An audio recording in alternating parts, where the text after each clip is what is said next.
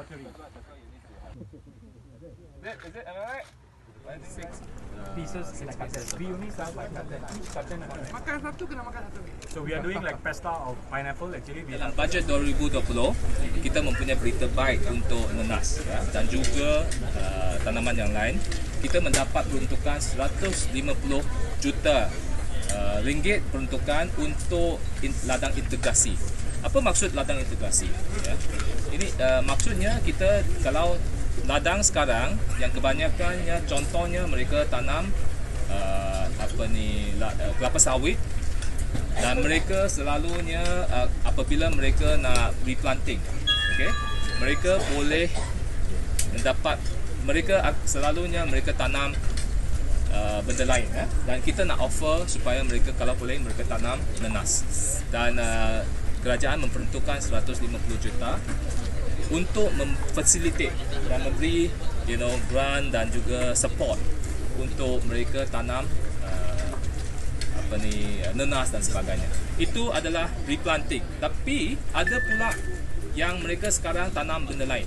Dan mereka masih ada tanah yang mereka ada dalam satu tak ladang uh, mereka nak tanam benda lain. Mereka pun boleh uh, dapatkan bantuan dan peruntukan daripada kerajaan untuk apa ni ladang integrasi. Maksudnya kita nak satu ladang itu dia bukan hanya tanam satu uh, tanaman. Dia dia kena perbagaikan supaya we can supaya kita tidak terikat dengan harga komoditi pasaran. Contohnya sekarang kelapa sawit dia turun, ya. Harga pasaran komoditi dia turun naik. Tetapi kalau masa kalau you ada pelbagai plant, uh, tanaman. Contohnya dalam satu ladang you ada tanam kelapa sawit you ada tanam uh, nenas you ada tanam kelapa you ada tanam sayur-sayuran maka likely you not be hit very hard with uh, when the price of commodity go down. Jadi kita nak menggalakkan seperti apa ini adalah idea yang amat berhormat Perdana Menteri ideanya is to get variety of plants eh, in one uh, as, uh, what they call ladang supaya farmers dia apa ni pendapatan petani itu tidak terjejas dengan harga pasaran komoditi dan idea beliau sekarang telah berjaya di uh, diperuntukkan 150 juta ringgit untuk uh, ladang integrasi. Ladang integrasi is a must ya, kerana kita mau a biodiversity farm. If you only plant one thing, uh, it will subject to pests and also diseases. Okay.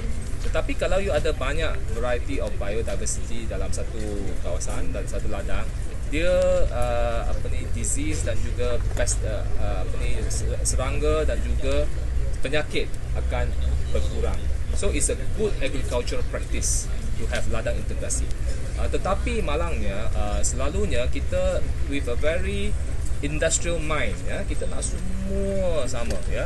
Akib, akibatnya uh, kita tidak mempunyai ladang yang uh, variety ya. Pelbagai, pelbagai tanaman. Sekarang contohnya di Malaysia kita ada 8 juta ta- hektar 8 juta hektar tanam uh, apa ni tanah pertanian. Tetapi 6 juta adalah kelapa sawit. Okay? About 75% of our agricultural land is on kelapa sawit itself. Jadi kalau ad, apabila ada masalah contohnya harga komoditi turun, maka kita petani semuanya susah dan mengeluh terutamanya the small smallholders. So kalau mereka boleh adopt a good agricultural practice or ladang integrasi di mana dalam satu ladang dia tanam kelapa sawit no problem tetapi peruntukan sedikit tanah untuk tanam nenas, tanam uh, uh, apa ni coconut, tanam tanaman yang lain. So they can have a multiple in, uh, stream of income. Uh, but it's easier said than done. They need expertise, they need uh, guidance, they need. Jadi kita telah berbincang dengan uh, Kementerian uh, Industri Utama uh, baru-baru ni minggu lepas.